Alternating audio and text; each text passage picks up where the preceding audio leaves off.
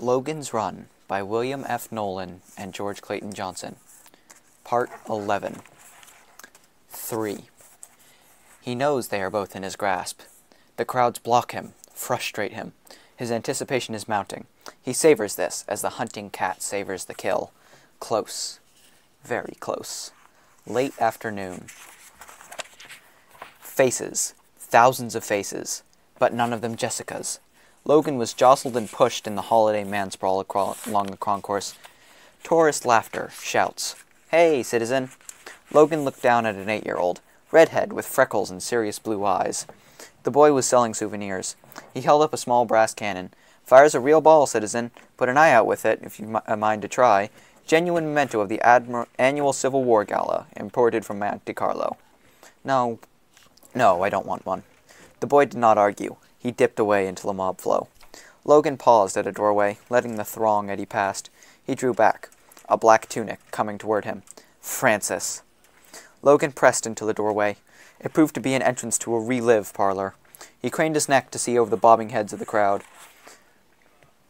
The black figure was still advancing, appearing and disappearing in the press, closer with each step. A robot touched his arm. Citizen Wentworth 10, said the robot, looking with steel sympathy at Logan's blinking hand. We've been expecting you. This way, please. He had no choice. Francis was outside, back to the door, studying the crowd. The robot slid out a life drawer from the metal wall. Just lie down here. This is our latest model. You may switch years as desired. Logan settled into the steel foam seat, grateful to be shielded from the open doorway. The robot dabbed his temples with saline solution, connected the rubber cradled terminals to his neck and forehead. Listen, I don't really need to be. Logan was stalling for time, but the ro robot was programmed to deal smoothly with nervous citizens on last day. Any year, as desired, he repeated, flipping a switch. The life door slid silently into the wall. Darkness. I can't stay here. I have to find Jess. I. He was 16, and the Nevada desert was a brown heat shimmer before his eyes. Logan sat in the sparse shade of a saguaro cactus, utterly motionless except for his eyes. 100 miles of desert to cover without food, water, or weapons to graduate from DS school. Now, in the second day, he was dehydrated and feeling the enervating fatigue of the trek. At dawn, he had squeezed the pulp of a barrel cactus through the cloth of his shirt and obtained a half pint of sour tasting fluid. It had almost gagged him. Logan was watching the small cleft in the yellow shale which swelled from the desert hardpan at his feet. A rattler oiled into view, tongue licking at the baked air. Logan waited. Then, when the snake was free of its lair, he killed it with a boot heel. Using his belt clasp, he scored the ridged skin along the back of the jaw and across the top of the broad, flat head. He worked the skin loose with his teeth and pulled. It peeled smoothly back from the long body. Logan ate the pink flesh, carefully chewing the smaller bones before swallowing. The rattler joined a field mouse, three butterflies, and several grasshoppers in his stomach. He rose into the heat of the desert and went on. In theory, there was a runner ahead of him who would pause to sleep, who would falter and fall, who would despair at the size of the desert. Because Logan did none of these things, he would overhaul the runner and kill them. His tissues were pleading for water. The scant moisture provided by the snake had reawakened his water need, and the pebble in his mouth didn't help much. He remembered the class he had taken dealing with life in the desert. In the training room, none of it seemed particularly difficult. The desert teemed with life, with ground owls and bats jackrabbits and bobcats. There were gophers and mice and squirrels, foxes, badgers, and a thousand other forms crawling and slithering across the desert floor. But they were damned hard to trap. There was water here, too, but it took luck and knowledge and instinct to find it. His feet puffed dust in a trail that would hang in the motionless air until dusk. Then the wind would come, freezing and scouring the hardy mesquite, whipping tumbleweeds like bramble wheels on a thousand mile journey through the arid wastes. At night, the deaths would begin. Cat would stalk fox, who stalked mouse, who stalked insect, down through the levels of kill to live. Logan stumbled and caught himself. He was tiring fast. No, the hunter does not tire. It is the quarry who tires, gives up, dies. The need for survival in a hunter must be stronger than the need of a runner, and the need of a runner is a fever in the blood. He had to go on. He could not rest. He had to live so that runners would die. And he was seven, and his flower had changed color, and it was time to leave the nursery and go out into the world, and Logan was afraid. He wanted to take Albert Six, his favorite talk puppet, with him, but they wouldn't allow it. Why? Why? Why? he sobbed. Not permitted, said his auto governess, and reached for Albert. The puppet ran after Logan, tiny feet pattering across the nursery floor. Logue, Logue, I'll never forget you, Logue, never forget you. They caught him and put Albert. They caught Albert and put him away in a box, and Logan screamed and screamed and screamed. And he was nine, and the red flower smashed against the side of his face. He was ringed by four men. The leader scowled at him. Lick my boot, he said. Logan shook his head. The man slapped him again. Go ahead, said the man. Do it. He tried to back away, and was shoved from behind and almost fell. He'd been on his way to, to Yellowstone to meet Iron Jack, who rode real horses, when they stopped him for no reason on the Malays platform. Lick my boot, said the leader. Then we'll let you go. Logan looked at the four men. He could see they ached to hurt someone. He bent and licked the dust from the toe of the leader's boot. The men registered disappointment. Let's go, said the leader. We'll find somebody with guts. Then they were gone into the maze. I'm not going to cry, Logan told himself as his eyes blinked rapidly and the hot tears came. And he was one. He was warm. He was clean. He was full. And he was thirteen, riding the devil stick in Venice above Piazza San Marco, and the wind rushed at him, and he opened his mouth to gulp the wild wine wind, and he was the great tidal immensity of the earth below, and he was free. His palm flower was the blue of this Italian sky, and it would never change, and he would never grow old, and it would always be clear Venice blue, Mediterranean blue, and always and forever blue. I must wake, must find Jess, must get up. Logan stirred in his dark metal womb. The relive wall hummed, and he was three, and the hypnotape was telling that a squared plus b squared equals c squared, and of sines and cosines, and he was 15, and the instructor bowed to him. Logan wore the foam-padded mittens which were necessary in an Omnite class and the short white traditional shirt. He tried to do as he'd been taught, tried to clear his mind of all images except the squat, hard man before him. Again, said the man. Logan fell into the proper stance and began to circle. His hands were moist and clammy, and he fought back with a desire to retreat. He must never retreat. If he wished to become a top DS operative, he had to learn everything this man could teach him. The man feinted a blow. Logan countered with a savate kick. The instructor took the impact in the belly like a stone image, without flinching, caught Logan's leg, dumped him, and struck his throat, temple, and solar plexus with a single continuous blow. Logan slammed the mat and was sick on the mat, and the instructor said, There is no single blow in Omnite, only combinations. Learn them. Each culture had method, evolved a method of personal combat. From Japan, Jiu-Jitsu. From China, Kempo and Karate. From France, Savate. From Greece, boxing and wrestling. The finest points of each art were combined in Omnite. They circled one another. Logan struck, but was once more dumped hard to the mat. He picked himself up, wiping a thread of blood from the nose. He was stiff with pain. Again, said the instructor, smiling thinly. And again, and again, and again. And he was six. And it was a play period. And Rob was scampering across the asphalt ahead of him. I'm a Sandman, cried Logan. Here I come after ya. I see ya, Rob. You're hiding, but I see ya. I'm gonna shoot ya now. Logan raised the wooden gun. Rob was behind one of the teeter swings, pretending to be a runner. Bam! yelled Logan. Homer, as pow! Rob didn't fall. Missed me, he shouted. Did not. Did too. Did not. A homer never misses anybody. You can't get away from a homer. A homer. Homer. Homer. Up. Run. Escape. The life door continued to vibrate. Logan tensed in its metal embrace. And he was 19, and the haunting voice sang in two-tone scale. Oh, black, black, black.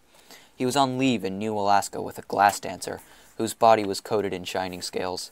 Outside, the forest-grown palm trees flagged the sky, and they listened to the cantata for bongo in A minor with all 88 tones clear, and deep from the clavet drum that only Deutscher 4 could play. And there was Single Sung Tingle Tongue Pidge and Milk Belly and Angerman, the saga of DS with its 103 choruses. Angerman was filled with fury, he the judge and he the jury, gunning runner, gunning, gunning, with the quarry from him running, Homer in the gun. Anger man pursuing faster, anger man the angry master. Gunning runner, gunning, gunning, with the coward from him running, fleeing from the gun. Logan felt proud to be here among his friends in his handsome black tunic, with the glossy serpent woman caressing him in secret ways to set his blood coursing. And he was fourteen. and his hand was suddenly blue. Now he had to take on the duties of adulthood to earn his way. Yesterday all had been free for the asking because he'd been a boy, but now he was a man. But that was all right, because now he could be what he had always wanted to be. Always. And he was twenty and on the hunt. The girl had been clever, crossing the river to shake him, but now she was trapped, her back to a high board fence. Logan walked toward her. She clawed at the boards, breaking her nails on the rough wood, and then fell, huddling at the base of the fence. He raised the gun, fired, and the Homer sang in. Logan stood there, feeling the sick emptiness flush through him. Why had she made him do this? Why hadn't she accepted sleep? Why had she run? Run, run, run! And he was 21, suddenly 21, and his palm flower was blinking and he was high in the three mile complex, hanging by one hand from the ledge, with Lilith laughing above him.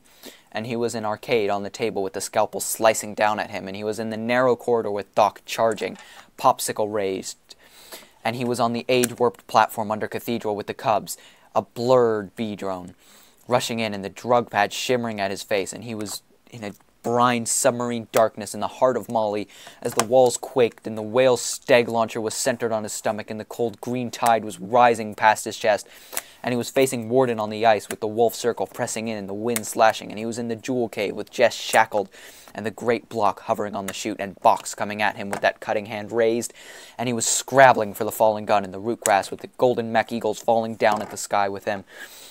And he was on the granite steps in Crazy Horse with the watchman at the bottom and Francis coming closer and Jess gone. And he was lost forever in the endless, night twisting caverns. And he was watching Rudigo pour the Hemadrone down Jessica's throat. And the Devil Stick was singing under him. And he was above the lame Johnny with the king diving at him and he was in the foaming whitewash of the rapids, and he was soaring over the strands of dread microwire, and the love room had him, and the entrance door was sliding closed before he could reach it, and he was inching up Marye's hill with the brass cannons roaring, and Jess was gone, and Francis was outside the relive parlor, and he was awake. The drawer slid open, and Logan sat up. The robot was at the far end of the hall, tending another customer, as Logan emerged from the relive bed. He did not wait, pulling off the terminals. He checked the front of his building. Francis had moved on. The way was, for the moment, clear. A police paravane was idling at a landing stage on the next level. Logan approached the driver, a spidery man with sorrowful eyes who wore a tight-fitting lemon uniform. Logan displayed his right palm. Perhaps you could help me? Pleased to help any citizen on last day, said the lawman. I'm running out of time, and I hate to wait it on belt runs. Could I pick up a ride with you? Know just how you feel, citizen. Another year or two, and I'll be on last day myself. Where can I take you? Not far, Logan pointed off to the west. That wooded area beyond the battleground. I'm due to meet someone there. Climb aboard. They rose through puffs of cannon smoke. Below, General Burnside's men were massing for another try at the slope. Muskets crackled faintly. A drum throbbed. A skirl of fife music drifted up. The officer in yellow sighed. Grand sight, isn't it? Me? I always come here every year, whether or not I'm on duty. Wouldn't miss the gala. It just inspires you to see all those brave soldiers dying for what they believed in. Gives you a sense of purpose, a sense of honor. Inspiring. Yes, said Logan. There were real issues to fight for then, the officer went on. Liberty, freedom, justice. Now things have changed. Now, everything comes to us on a platter. Man's got nothing left to fight for. Logan nodded. I envy those lads on that field. They were fighting for their future. And what's our future? The officer's sad eyes grew sadder. Sleep. For you, tomorrow. For me, next year. I used to have religion, used to figure that there was a better place beyond sleep. I don't know anymore. Really can't be sure. I was a Zen Baptist for a while. Then switched to right down there, Logan cut in, pointing. On the far side of those trees. The paravane settled in a patch of open ground. Logan got out, waved his thanks. Pleased to be of service. Certain you can make it into sleep on time? I can make it. I could stay in the area, give you another ride back to... No, I'll be fine. The officer shrugged, measured Logan with a long, penetrating policeman's stare, and took to the sky again. The flaking maze entrance at Old Fredericksburg needed paint. A flight of birds burst from cover as Logan approached. Obviously, Jess was not here. But had she come and gone? He examined the stairs. A set of heavy boot prints in the dust. DS boots. Logan eased the gun into his hand and padded noiselessly down the stairway. The platform was deserted. Quickly, he moved to the screen control box, dismantled the scanner unit. Now the loading slot would no longer be monitored, and it would be possible to get Jess into a car. If he could find her. Logan returned to the surface. Had Jess understood the location of the maze? He should have given her explicit instructions. He'd have to wait and hope she could find the place. Better to wait than chance missing her, if she were alive and free. if. He settled under a sheltering overhang of trees from which he could keep the entrance under observation. A bird scolded. A squirrel frisked into the open adva- and advanced with little flirts of its tail. The squirrel frisked closer, button eyes alert and questioning. Logan killed it with a neck snap, skinned and gutted the animal, and skewered it on a green stick. Hunger was a pressure in his belly. Saliva filled his mouth as he thought of the cooked meat. He removed the four remaining shells from his gun Needler, Vapor, Tangler, and Homer. He triggered the gun, and the resultant flash from its powder pack ignited a small mound of leaves and dead branches. Feeding the smokeless fire a twig at a time, Logan roasted the squirrel and ate it. A crunching of gravel. He smothered the blaze and took cover. The sound of breaking twigs, the running of feet in the brush. Jess emerged from the woods. He met her at the entrance. Hurry, she sobbed. Someone's after me. DS? No. A crash of footsteps. Two boys. They saw my hand. Into the maze, he said. Logan hurried her down the stairway. The battle. I was separated from you. Thought I'd lost you. Was afraid I couldn't get here. Never mind, he told her. You're here.